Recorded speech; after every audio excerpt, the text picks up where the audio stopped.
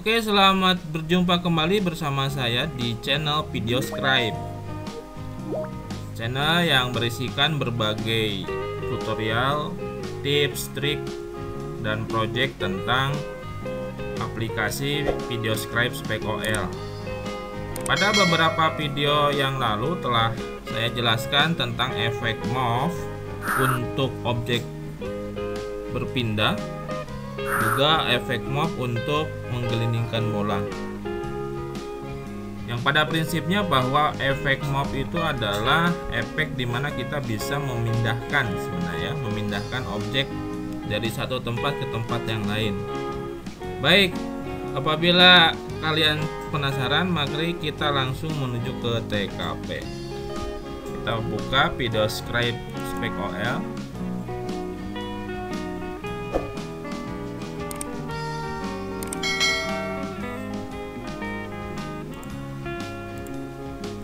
kita buka dokumen baru. Nah sebelumnya sudah saya siapkan tiga buah objek untuk mempraktekkan efek move kali ini. Objek tersebut saya dapatkan dari internet. Dan bagi kalian yang penasaran dari mana alamat internetnya atau apa nama alamat internet URL nya akan akan saya bahas pada video berikutnya. Kita lanjutkan pada pembahasan kali ini. Masukkan untuk objek yang pertama yaitu jalan ke dalam area kerja atau kanvas. Kita perbesar hingga menutupi semua area kanvas. Kita geser sedikit. Oke, sekiranya ini cukup. Masuk ke properties ya. Masuk ke properties tentukan untuk animasinya saya berikan 0,5 second. Pause nya kosong transitionnya kosongkan. Oke kita checklist. Kemudian set kamera. Baik selanjutnya masukkan objek mobil. Mobil yang pertama ini kita masukkan. Kita perkecil kecil kita simpan pada posisi awal. Ya. ini kita akan membuat oh, mobil bisa mendekati dari arah jauh mendekati ke arah dekat kita ya depan. Dari belakang sampai ke depan ini.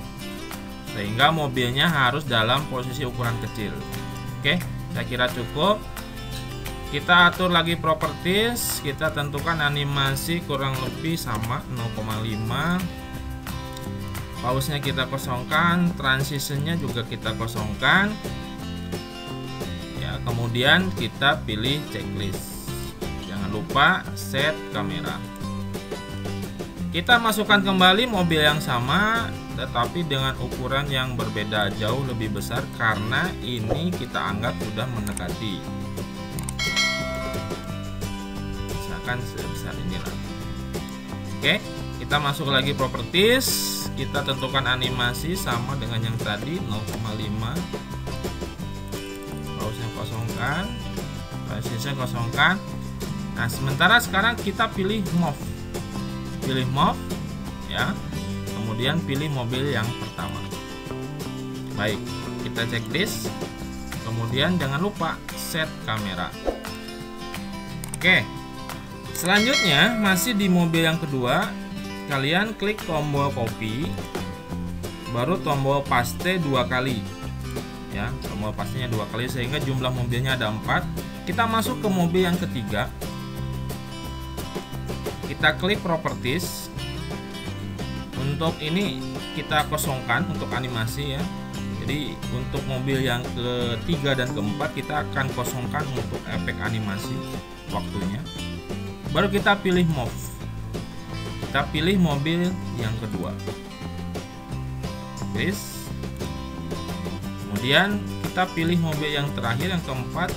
Klik properties kosongkan animasi klik tombol move kemudian pilih mobil yang ketiga. Baik klik checklist. Kita akan coba untuk melakukan preview sekali lagi coba. Ya ini sudah berhasil.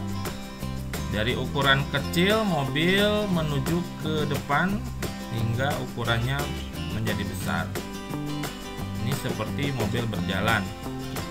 Nah ada sedikit yang bertanya pada kolom komentar.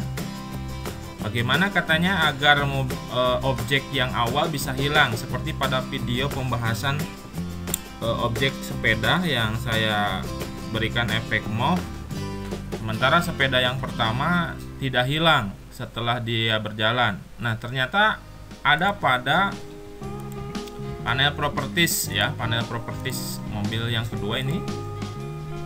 Ini ada clear item. Nah kalau clear itemnya ini kita hilangkan checklistnya ya maka mobil yang pertama tidak akan hilang. Mari kita preview jadi mobil yang pertama yang ini tidak akan hilang tetapi kalau kita berikan tombol checklist pada clear item, maka ketika efek berikutnya untuk objek yang lainnya aktif, ini dia akan hilang.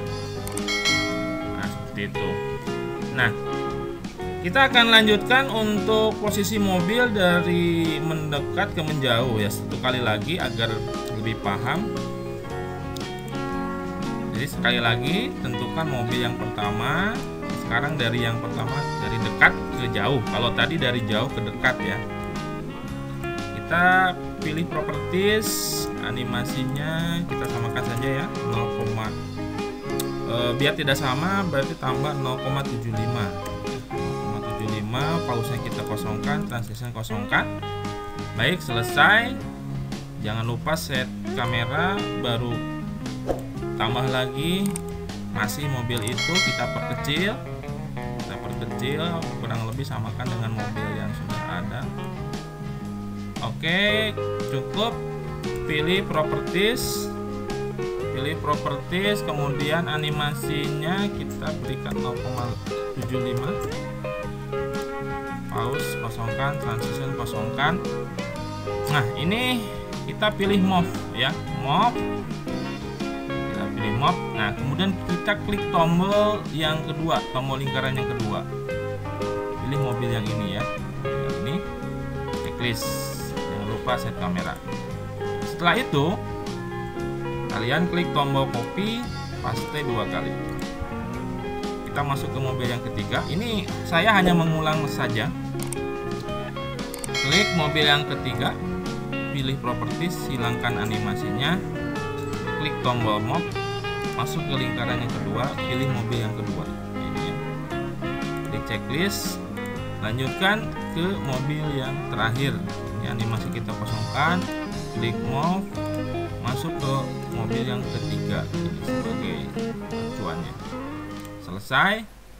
Mari kita preview. Ya oke sekali lagi Baik. Mudah-mudahan video tutorial kali ini bisa bermanfaat untuk kalian semua. Jangan lupa diklik tombol subscribe, bunyikan tombol loncengnya.